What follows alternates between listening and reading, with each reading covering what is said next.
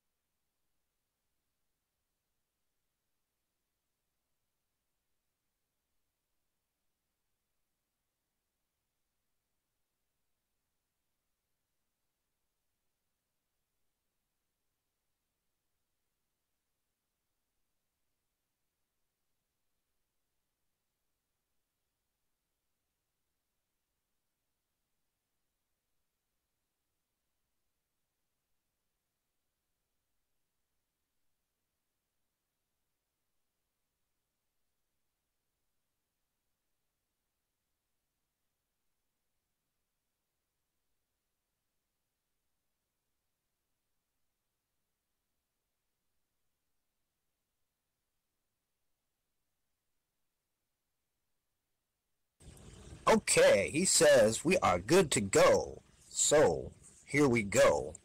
This is the butterfly effect and transformative realities is the name of this presentation. And so if you can zoom in on the screen, get a nice square um, full screen shot so that uh, people in downtown Canton can see all the slides. That would be wonderful. And I want to thank everybody for joining us today here in Virtual World's Best Practices Education Hearth location as well as in downtown Canton in Centennial Plaza. And this is a first.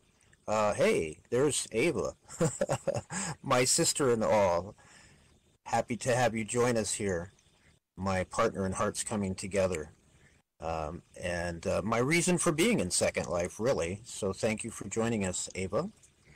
And uh, as you can see on screen, that is Centennial Plaza in downtown Canton, Ohio. And this is a first for Canton, Ohio, and I believe for Virtual World's Best Practices in Education to be live streaming to a large screen in the real world. So, and this is just the beginning. We hope to do this, uh, these kinds of presentations um, in the future in Centennial Plaza and to engage uh, people in a growing story, which I, am going to talk about here a bit.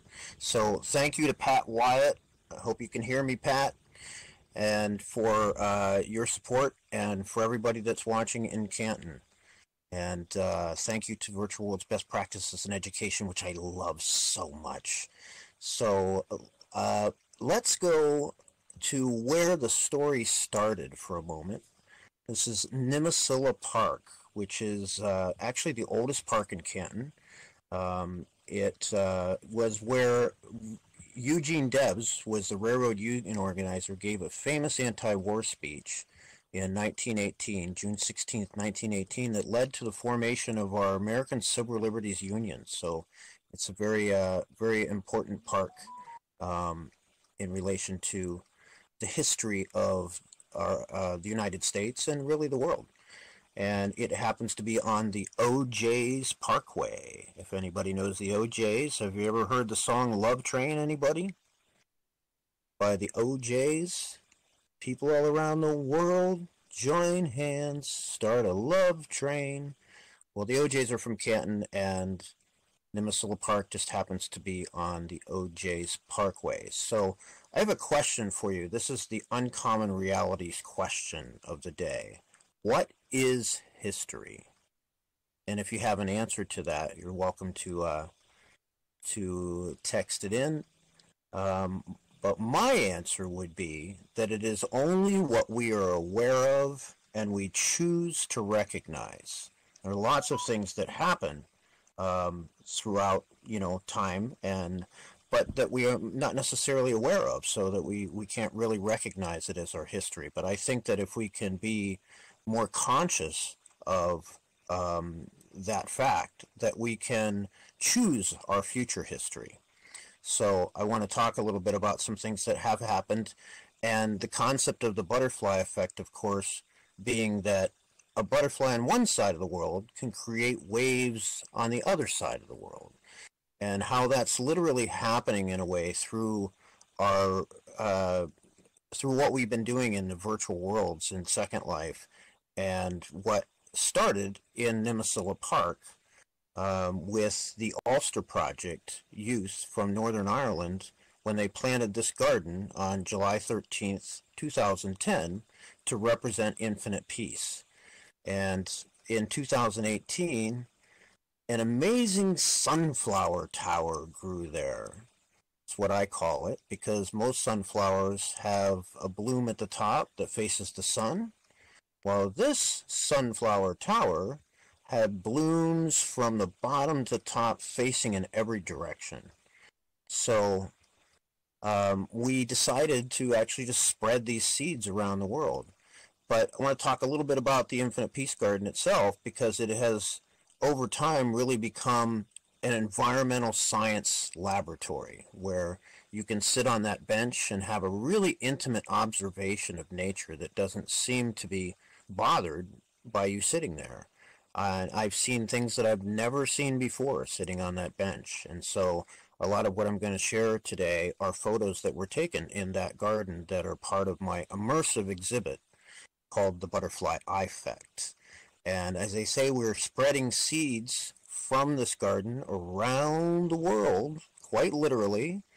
And uh, if you would like some actual seeds to plant in your own garden, uh, you're welcome to DM me uh, an address to send them, and I will do that. Otherwise, we also have a way to spread them in the virtual world. And you see that big box over there uh, with uh, the picture of the sunflower tower on it. If you click on that, it will give you lots of gifts of from the Infinite Peace Garden, including the, the t-shirt that I happen to be wearing here today, and, uh, and a sunflower tower that you can place on your own sim, and some landmarks and uh, note cards and other information as well. So Cedar Point Amusement Park actually allowed us to plant some sunflower tower sprouts under the corkscrew roller coaster in uh, 2009 or no wait 2019 i'm sorry before the pandemic hit and this picture that you're looking at now is actually part of cedar point's 150th uh, 150 year atlas and chronology called rolling through the years and so it's like that concept of infinite peace and solar energy spiraling out to the world. And, um, and quite literally uh, around the world, where video of this scene we know has been seen in at least 46 countries so far. And through Second Life, um, actually uh, has made it around the world you know, in, in many ways. And you, here you see a picture of a friend of mine um, in Indonesia uh, with the seeds that she received. And she actually worked at the Indonesian National News Agency when that picture was taken. And the Indonesian National News Agency is called Antara, which is where the butterfly effect actually resides in Second Life on an island called Antara, interestingly enough. So there are a lot of serendipities that uh, that are part of this story, and uh, quite miraculous. Um, I'm going to try and spin around here so I can see this picture better and read it to you. Um, but this was, we actually celebrate our second anniversary of the butterfly effect on 11 11 22. And uh, the Butterfly Effect is an immersive, entertaining, educational experience of imagination therapy. And you can fly on a butterfly, an owl, or a dandelion to make a wish. And every photo has a story showing evidence of interspecies communication and messages in nature, symbiosis, and phenology studies. Really amazing revelations, I feel, um, in understanding our relationship with with nature.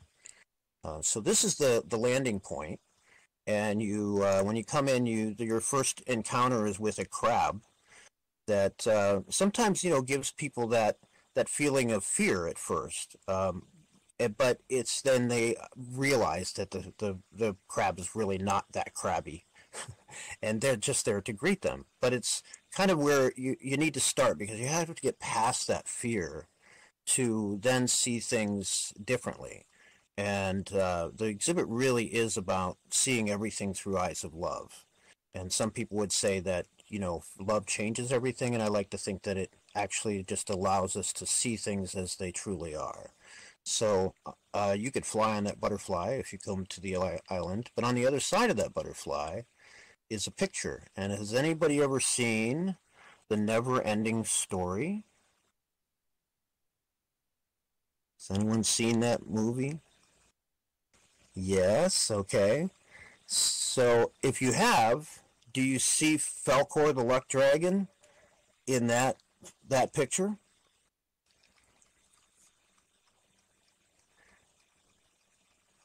Because that picture was actually taken in a fountain in downtown Minneapolis and it's really amazing. It's just splashing water. So how do you capture Falkor the Luck Dragon in a fountain? But what does Falkor represent? The never-ending story. And I actually used that photo, and we're talking about messages in nature here, um, at a city council meeting where they were talking about fracking, and you know, in reference that you know, the never-ending story is wherever we have clean water to continue to live. So quite amazing that Falkor was captured in a fountain. And if you go to the island, you can actually walk out over these rocks and something kind of miraculous happens there where you walk out into the air and then you looks like you're standing on Falkor the Luck Dragon. You can take a picture and some people actually tell me they get chills when they when they do that. so um, and you know the movies, if you've seen the movies, there's three movies. And the first one the boy is reading the story. In the second one, the story is writing itself. And in the third movie, he realizes he has to write the story to save Fantasia, which is crumbling from lack of imagination, basically. So imagination is a really important factor in uh, in reality, and you know, and as Einstein said, imagination is more important than knowledge. it's interesting to note that caterpillars use what are called imaginal cells to become a butterfly. And so I think that that's where we are in the world. And say the past couple years was the second movie, like, you know, the story writing itself. And that we need to be conscious of to utilize our own imaginal selves to rewrite reality. Imagination is necessity, necessity, never spills or goes extinct. Share a cup with us on the islands of Whimsy in SecondLife.com. And Whimsy is one of the first places I encountered in Second Life. It's still one of my favorite places, if not my favorite place um, in Second Life, if you've never been there. And uh, you might meet Nessie, the Loch Ness Monster, who has become my friend. This is Jules. Uh, she is the founder of Viridian Gallery, and I had a note card open to share something that she had said, and now I can't find it. so maybe I won't be able to do that. But uh, actually, I think it's in the note card that's in the box, so you can read it there. Oh, no, here we have it. Here you go. This is what Jules said about the exhibit. So when you go into the gallery, you uh, it's called the butterfly eye effect, touch of light at the edge of the world. So you actually kind of walk through that touch of light when you're on your way into the gallery. And the two pictures on the front of the gallery are called Touch of Light, this one here, and Edge of the World, this one here. You see the ant perched on my pinky? And both of those pictures were taken on 11 11 2010.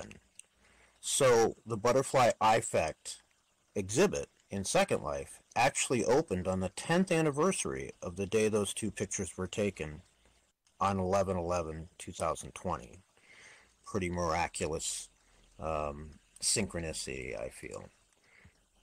So um, I want to thank Electra Panther, by the way, who is uh, from Italy, and she is my transcriptionist today. And I always add an I to that word, transcription. Um, but I really thank you, Electra, for being here. She's actually uh, transcribed for me uh, before when we did a tour of the butterfly effect uh, for an immersive experience at uh, a, a past virtual world's best practices in education. When you walk into the gallery, you walk over these words, and what they say, I thought I had in here, and now the the uh, picture seems to have disappeared. but it's a quote by Patanjali, and I have quite a relationship with nature, and it used to even freak me out sometimes until I actually read this quote. And what it says is that if you become steadfast in your abstention of thoughts of harm directed toward others, all living creatures will cease to feel enmity in your presence, meaning they won't see you as an enemy. And this is pretty much my experience all the time. So this is really what the butterfly effect is about. It's a lot of my own just encounters with uh, nature in in all its forms, and uh, and the messages that they give me. I just I really feel that everything is speaking. You know, whether it be bugs, birds, clouds, water. Um, if we're open to see what it is saying, and through my photography, um, they give me messages. I'm kind of their messenger, and uh, just looking at the pictures, um, the stories then tell themselves through me. So uh, each frame in the gallery has a different theme. The first one you'll encounter uh, is just pictures of my timeless watch and the many critters that have happened across it over the years. And I literally wear this this watch. It doesn't have a face. Someone asked me at a coffee shop once, "What's wrong with your watch?" I said, "Nothing." And they said, "Well, how come it doesn't have any time on it?" I said, well, because there's nothing wrong with it. so, because it really is about being in the moment and understanding that nature gives us the greatest gifts when we spend an unmeasured amount of time in experiencing it. And it's not a matter of how long it is, it's just a matter of when you just, you know, let go of that. Uh, that focus on having to be somewhere else, you know. So um, I want to share a couple of photos and stories with you. This one, uh, this caterpillar that you see on the rose was actually on my mom's shoulder, um, and and I I took it off, put it on the rose, and I said, "It's a good sign, trust me." And I had no idea what was about to transpire, but I took it over and handed it to uh, Amy, uh, our friend who was in a drum circle in the park that day. And she took it and held that. That's actually her holding that rose down to this butterfly pin that she had pinned on her purse that I had given her the last time I had seen her. And the caterpillar crawled right over that butterfly pin to mirror the swallowtail of the butterfly. Amazing. Especially because that is a gypsy moth caterpillar which is often perceived as a pest, and that you know people use pesticides to, um, you know, try to eradicate. But we really can't, you know, spray pesticides for one species and affect and and expect that it's not going to affect another. And it's interesting that DNA tests have shown us that all butterflies are descended from a little brown moth. So we often don't give the same value of life to a moth that we do a butterfly. But that picture to me says it's all the same DNA. So think about that. And the next picture is a really good example of timelessness and the gifts that nature gives us when we share uh, a timeless moment with it. That caterpillar uh, was hanging from a thread that I couldn't even see. It was just dancing around in like midair, and I was photographing it, and then it disappeared, and I, oh, where'd it go? And I realized it fell, and I followed it with my camera, and just you know, I photographed it. Spent quite a, some time with that caterpillar before it eventually gave me that smiling face on that heart-shaped blossom. And now here's the real miracle. If you look close, the shadow of the blossom is like the swallowtail of the butterfly. Can you see that? And that is a gift of timelessness. I think it's a really great example. So here's one of my slug friends who I actually got to know over about three years' time on my grandmother's front steps. And there's lots of stories to tell about them. If you come and take a tour, I'll share more. Um, but we have a lot to share today, so we're going to move through somewhat quickly. But you can also ride a slug while you're in the in the exhibit, and they're actually the fastest slugs you'll ever encounter. You can race them actually around the gallery if you like, and try not to run into anything. and uh, if you see that spider in the background there, that's an, an orb weaver spider that actually inspired me to spread the seeds of infinite peace around the world and weave them into a world wide web. so, like I say, everything is a messenger. That little spider on my fingertip uh, is a jumping spider that I named Yo Yo. And there's a video in the gallery that you can watch of him. He actually played with me for like over an hour. And I really think that if jumping spiders want anything to be known by humans, it's that they just want to play. So consider that next time one comes to visit you. This is just one of my favorite pictures of relationship with nature. To have a damselfly just sit in your hand that peacefully is is really a remarkable experience. And that was in Nimisilla Park. A lot of these pictures, of course, were taken there.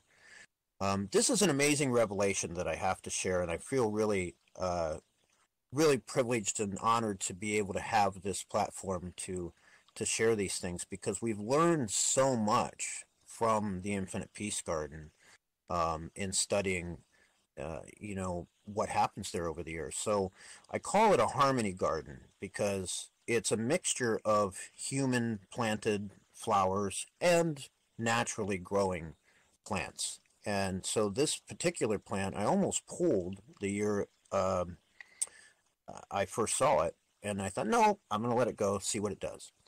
So it ended up revealing itself to be an attractor of Japanese beetles that then feast on its leaves and don't touch anything else as long as it's present. Um, so I think that's an incredible revelation, you know, instead of using pesticides to realize that uh, we just if we just give them what they want, they're not going to bother anything else. So if you have trouble with Japanese beetles, plant a row of this. And does anybody know what the plan is? Before I tell you, it's kind of interesting because it's called the Pennsylvania smartweed. and that's it. So, um, and it's really easy to grow. In fact, you know, I thin it in the garden and pull it up and I just stick it in a bucket of water. It'll live forever. And so it's really easy to transplant and you know, you know, to give to other people if you want to. And has really tiny little black seeds. Um, this is what it looks like when it blooms. And so if you have trouble with Japanese beetles, let me know and I'll send you some Pennsylvania smartweed seeds, or maybe you can find some on your own. So we've also learned of a multi-tiered symbiosis uh, with the sunflowers. The sunflowers actually, um, I noticed on the back of the leaves one day that the ants were doing something curious, and so started photographing and videotaping them and there's a playlist. Uh, I believe the the link is in one of the note cards, or you can come to the gallery and see it. But what has happening is there's these little tree hoppers that attach themselves to the back of the sunflower leaves, and then the ants they secrete like a sap from the sunflowers to feed the ants, who then protect them and the sunflowers. So, and we wouldn't have learned this, you know, had that sunflower not grown there. Um, and, you know, that we were, have been observing um, these things happening in this infinite peace garden, which has become so much more, um, you know, about peace in ways that we didn't really even anticipate when it was first planted. So that's another remarkable revelation, I feel. Um, here we are looking at a picture that was just a blurred image that was part of my exhibit at the Empire State Building years ago um, called Perceptions.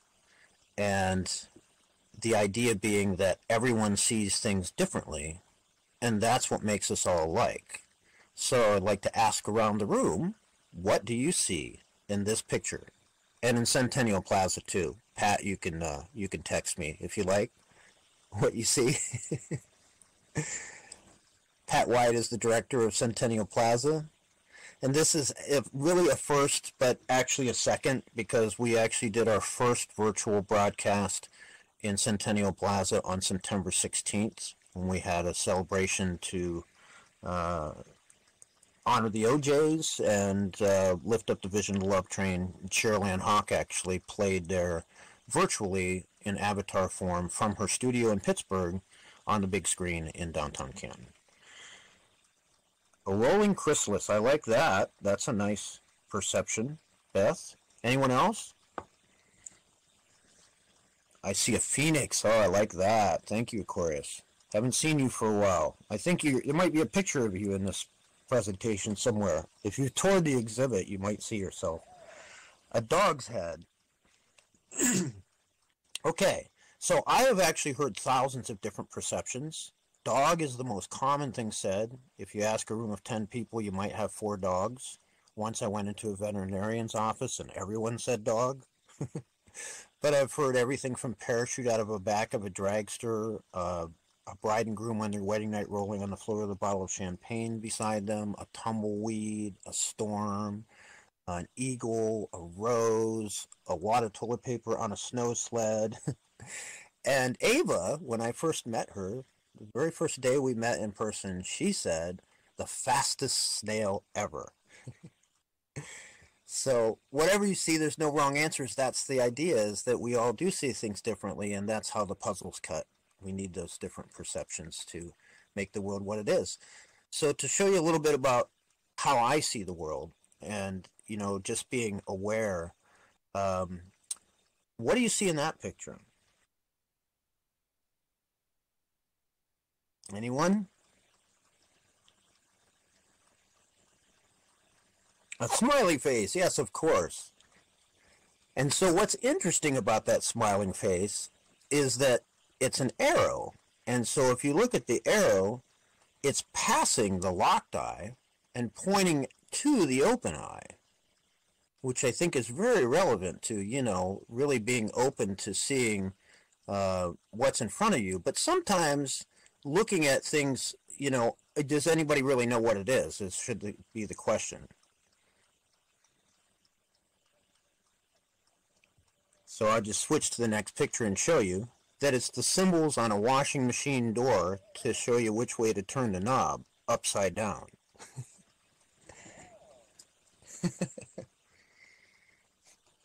so sometimes looking at things upside down reveals things uh, that you might not have been aware of otherwise. And our eyes actually do see upside down. What's on the back of our retina is upside down, and then our brain flips it around. So sometimes you might want to just look at things upside down and see if you see it something else.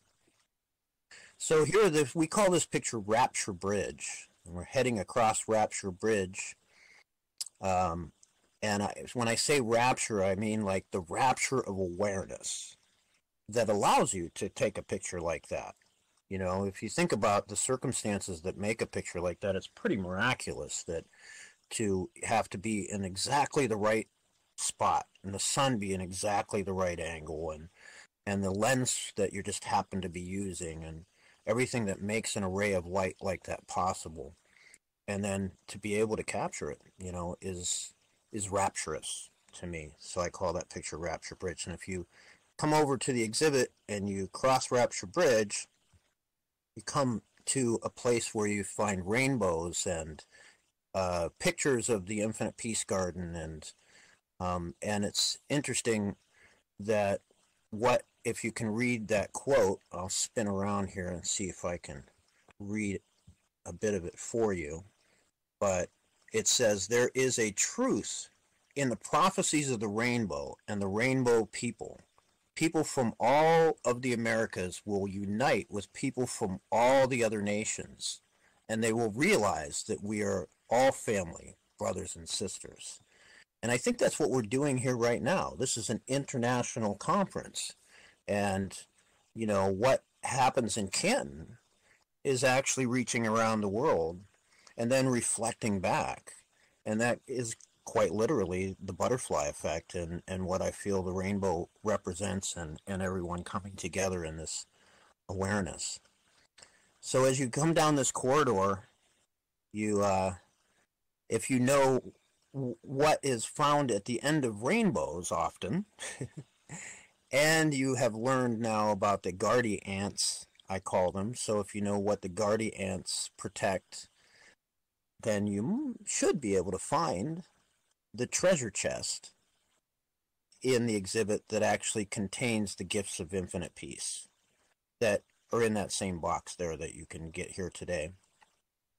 And it's really interesting because we're talking about the love train and the O'Jays and all of that stemming from Canton, Ohio. The song, Love Train, says, Tell all the folks in Egypt. and so, very, very interesting serendipity that Olive Tree Lighthouse, my conference mentor, is in Egypt.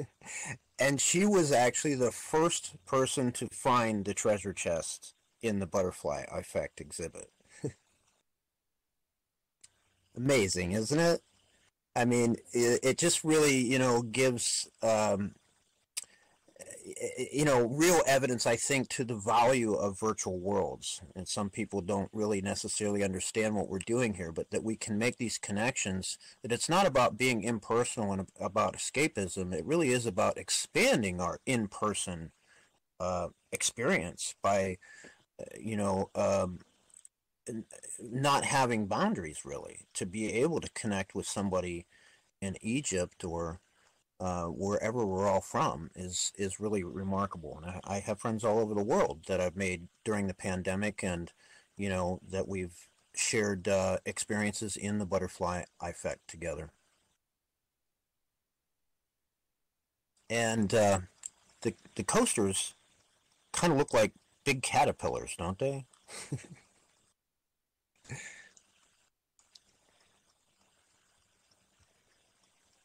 oh, Mary Lou, she wears that T-shirt so well. In the treasure chest is that's one of the things you can find in that box right here beside my big monarch.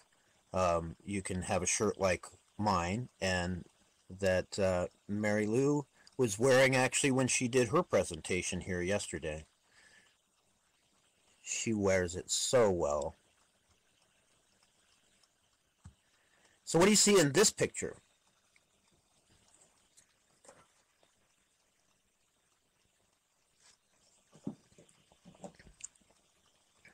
People in Canton should know. Looks like a heart, of course, and Ohio. Yes, right, Dale. Um, it does remarkably look like Ohio, and if it is Ohio, then that sprout is coming right up from Canton, Akron area. The sprout of hope, as uh, Ava said when she first saw this picture. This picture is so, or this image, she said, is so hope inspiring, it's excruciating. And I really believe that. I believe that Canton really has a, uh, a remarkable place uh, in the world and and in in future history you know and and really realizing what it means to be the heart and that the heart neglects no part of the body and then when the heart does what it does and you know the body circulates everything back through the heart so that actually became the logo of hearts coming together and we had a conference in canton ohio in 2007 based on this question What will we do to change our world today? With emphasis on will do today. the Amish build barns in five hours, so what can we do, you know? And that was really the premise of the, the conversations that we had at that conference. So I'd like to ask around the room, what do you think? What would be your answer to that question? Anybody have an answer?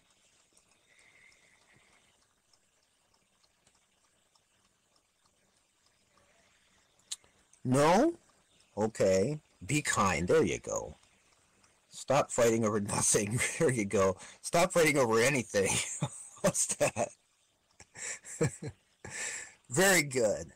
As this quote right here says, which was actually part of our exhibit at uh, Virtual World's Best Practices in Education last year, if we adopt the same collaborative mindset and practices that got us to the moon and back and that built the International Space Station, we can alleviate poverty and do much more. Ron Garan, astronaut, said that.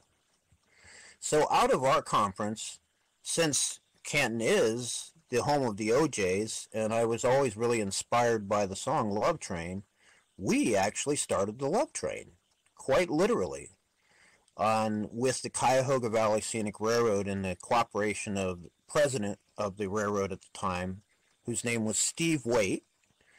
And uh, if you look at that picture, it's just such a beautiful blend of diversity in age and in just you know uh, mixed heritage and just just really everything that I think we want the world to be and people that were a part of that that ride really are still connected in the energy that we shared that day. When I run into this, you know, people that were a part of it, um, they they still greet me in the same way, like we're still on the train. We all really were at a much higher vibration when we got off the train than when we got on. And the real concept of the butter or the uh, the love train is to ultimately have a train that's traveling from community to community, engaging communities in what I call rapid transformation, and um, and changing the world, quickening the pace of really achieving our, our, our goals in the world, all the things that we keep complaining about, just a movement of proactivity, just to be, um, just to be brief right now, because the world is a broken reality. And this is a great book if you uh, want to read uh, by Jane McGonigal. Reality is Broken How Games Make Us Better and How They Can Change the World. And I think that's what we are using Second Life for. It's not so much of a game, but I think that, you know, we can think in that gaming sort of mindset to apply that to real world problems. And that's really what the book is about. If you look at this picture really right here, you see the tracks between reality and the virtual world, you know, but there's a break there. And what we're doing is really building those bridges in the metaverse, you know, connecting ties across worlds. And, uh, and you see that mural there. It's just, you know, it's another thing that we can do to uh, enhance our environment. And that Love Train mural was uh, started by uh, one of our city council persons, uh, Brenda Kimbrough, uh, and her neighborhood association. And um, and it needs to be finished because it hasn't been yet. But that's, you know, it's a wonderful project actually in bringing people together. So I've often said that my greatest challenge is crossing the bridge of words between vision and reality. So when that's the case, trust that a caterpillar knows the way to transformation. and if you look at those pictures, those were actually someone else's notes, and that caterpillar was on my shoulder. And they didn't see it the way that I did. They said, "Oh, there's there's a ooh, there's a ooh on your shoulder," and I was like, "Oh, cool!" And I got him on my finger, and then I, I had the hardest time getting it off my hand, and I finally got him onto the table, and he crawled across her notes. And if you look at the picture in the bottom uh, left, the message is very clear. Use the song that gives the train love. Amazing, isn't it? And then with the butterfly on the railroad tracks. So last year, we here with Virtual World's Best Practices in Education created the Hearts Coming Together Space-Time Story Bridge as a literal bridge between worlds, where the story of the Love Train and Canton and the Infinite Peace Garden were shared on this virtual bridge where the train was floating in space. And uh, it was really amazing experience to be able to meet with people there, and even Ava's uh, mom you see there in the picture, and uh, and one of the most amazing things that happened there was getting a message one day from Tori, who's in Ireland, and she sent me a message and said, "Eyeclectic, you have the Phoenix Peace Fountain in your storybook. That's my hometown." And so, isn't it incredible, really, that this space-time story bridge literally connected a, a loop in, you know, this, this space-time story loop between Canton, where the Infinite Peace Garden was planted by kids from Northern Ireland, and then on the space-time story bridge was able to connect with someone from Ireland who said how much it meant for her to see that in the book, that she, you know, was a child of uh, the turmoil in, in Ireland and uh, and how much the Phoenix Peace Fountain meant to her, which is actually made of melted gunmetal from Canton, Ohio. Incredible, incredible loop, and that that connection could be made here in the virtual world is just amazing. Have you ever heard the song "Sowing the Seeds of Love" by Tears for Fears? Well, I say that it's a reality. It's not a fantasy, and I think that they were actually inspired to be singing about the seeds that we are spreading around the world from the Infinite Peace Garden, which happens to be on the O'Jays Parkway in the origin city of the Love Train. Because the song talks about Love Train rides from coast to coast, and every minute of every hour I love a sunflower, and I believe in love power sowing the seeds of love. Einstein said time was a circle and that uh, future events could affect the past. So we have to wonder about that one because I had not even heard the song until I decided to spread those seeds.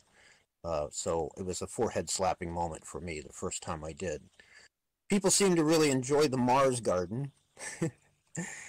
and uh, I had to share that because actually the Mars rover is rolling on an innovation called the tapered roller bearing which came from Canton, Ohio. In fact, the whole modern world, every car, train, plane, truck, car, all over the world is rolling on an, this innovation, including the Ringling Brothers circus trains, which I actually followed for the last three months before they closed because I saw how they could repurpose their tour. And they just wanted out and didn't really want to talk. But that's the model. If you can imagine, instead of having the animals and this huge logistical weight that you don't have to worry about, what else can we put on that train? Habitat for Humanity, maybe, and uh, artists to engage communities in collaborative murals, and gardeners to help with urban gardening, and solar experts, and recycling experts, and so on and so on. And as it continues to roll, I just think it will pick up, you know, more and more momentum and and people, you know, excited to change the world and share the wisdom that is growing around the world. So contemplate that because that is a real goal. And if you've ever seen the little engine that could, this is very much like a real representation of the little engine that could, where we have an abandoned train station in Canton. Circumstances have led to, and it's been that way for 10 years. So it's one of the reasons I came into Second Life is to utilize this platform to grow the story of the love train and reflect it back into reality. So if you look at that picture and just kind of get that in your mind with the train and the other characters and the clouds, and now look at this next picture that I took in a park here called Sippo Park, which I call Perception Park. And what do you see above the trees? Do you see the little engine that could? And it's interesting that could and cloud are the same letters. Hmm. and this is Canton's clock tower. The Angels of the Four Winds. And so I have to ask if you've heard the song Calling All Angels, is it coincidence that it's by a band called Train? Oh, I like that. and uh, and that Pat Monahan of Train actually sang the national anthem at the Football Hall of Fame game in Canton, Ohio in 2007, which was the same year that we had our first Hearts Coming Together conference in Canton that launched the Love Train. Interesting connections in space-time, I must say. Anybody ever see a football cloud before? Do you think maybe it's telling us something? What do you think, Pat? Pat in Centennial Plaza. So here I am, juggling worlds. Juggling, juggling, juggling worlds to help Canton see its place at the center of the universe. And so, if you've seen the movie Tomorrowland, I really think that that's where we are right now. Like the movie's about the world coming to an end, and it we've even given an expiration date, and it doesn't seem like anybody can stop it. But it's really about finding the dreamers, the people who can see beyond the negative broadcast that's dumbing everybody down, to realize a new reality. So this is a quote from the movie. Have you ever wondered what would happen if all the geniuses, the artists, the scientists, the smartest, most creative people in the world decided to actually change it? Yes, I have. And that's what we're talking about.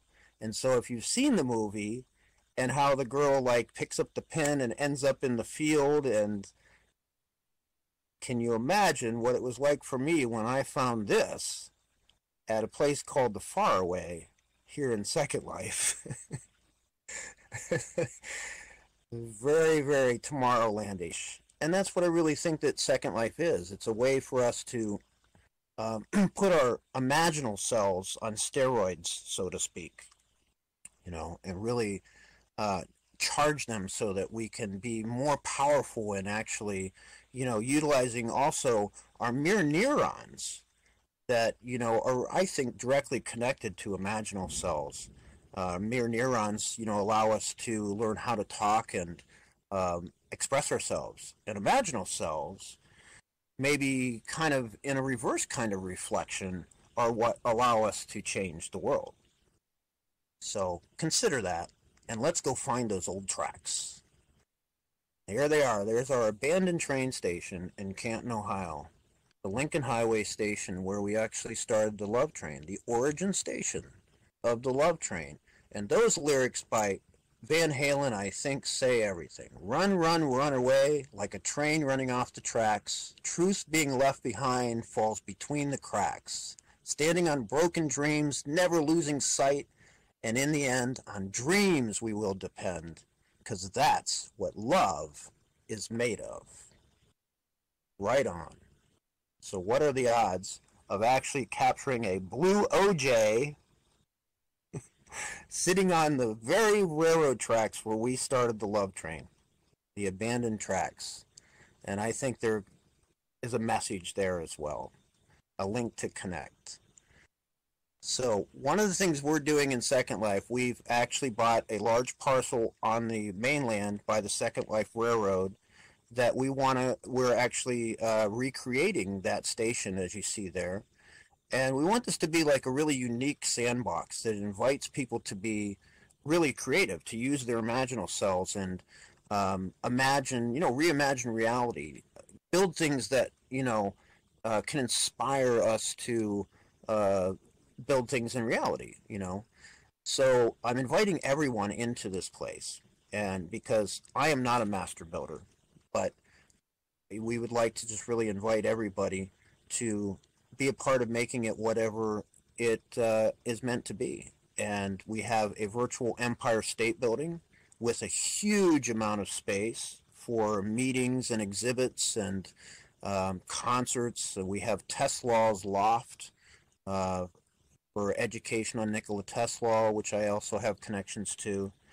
And so if you, you know, have an interest in being involved, please get in touch with me um, because it really is about, you know, just bringing everybody together. And if you've ever seen the Lego movie, I was really inspired when I saw it by this this quote of Emmett the Special. And of course, we, we're all special in our unique ways. Guys, you're all so talented and imaginative but you can't work together as a team.